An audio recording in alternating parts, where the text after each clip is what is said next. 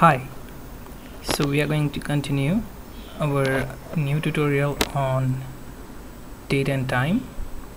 So we will learn how you can use date and time modules in Ruby.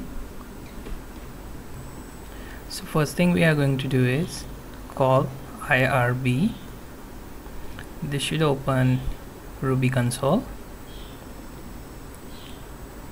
Now we will use require date. After that we are going to call require time.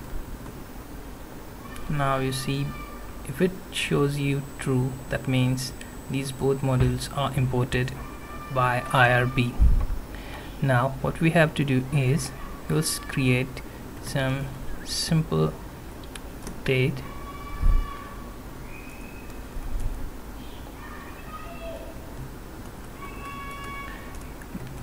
let's just create object for date. And as you can see the date we have here is scripted.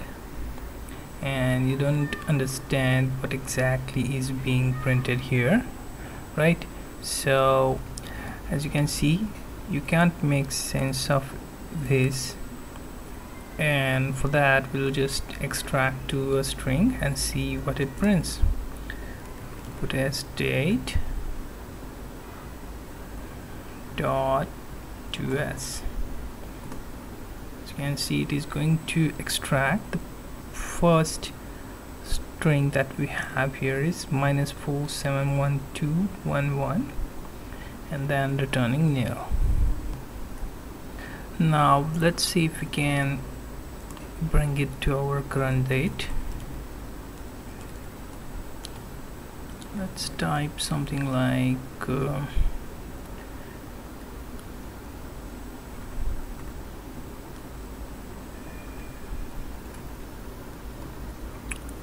okay now let's put it into string again.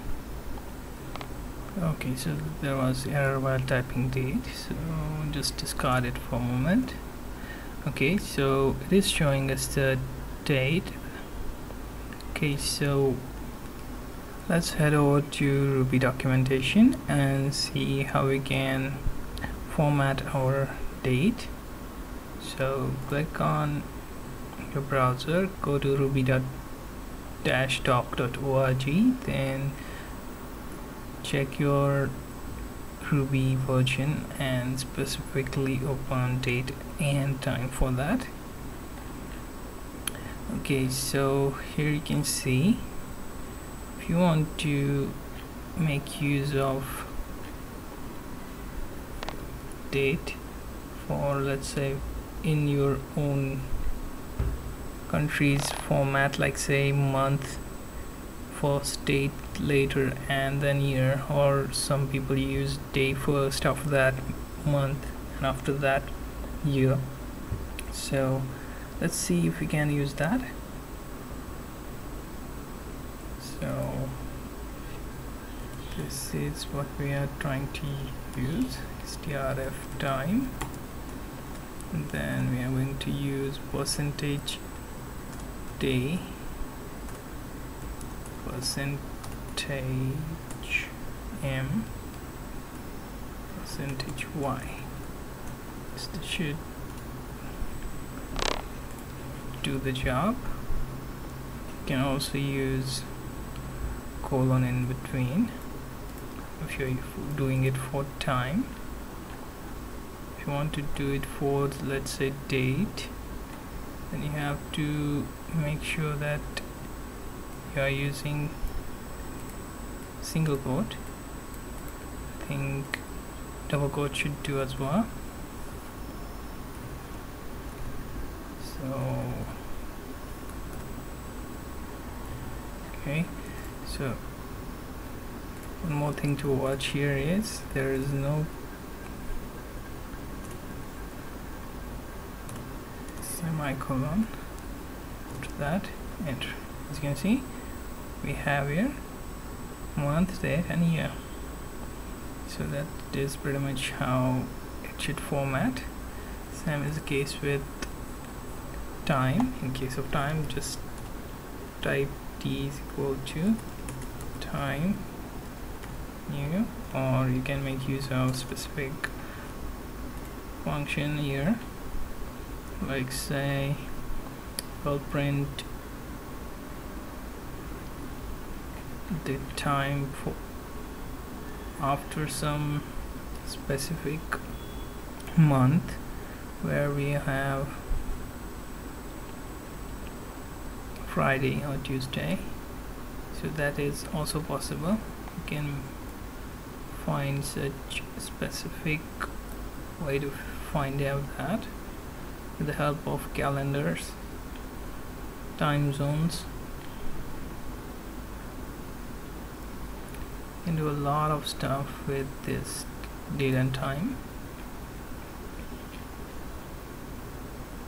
Okay so for now I suggest just starting with this. For t's go time new. Let's say 2014 4 and type to date. It should do. You can see the time will be printed. Put this d dot to s okay so we have here the date but not time. So let's see how we can do that.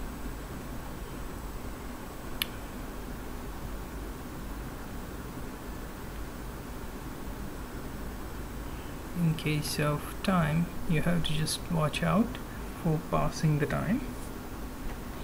First thing is you have to set it the way we have set here sorry this one. Okay this one. Uh, you have created that object and also called for the specific day. Okay. So once you figure out what you want to do you'll be able to find specific method to do rest of the formatting. We have method here for leap year which is interesting and worth checking out if you want to play with this date and time module.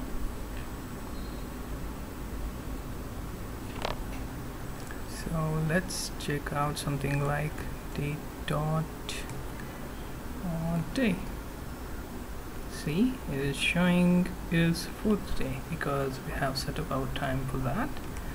Day dot uh, Sunday. Sorry. That was a bit mistake. Okay so that is pretty much what I wanted to show you.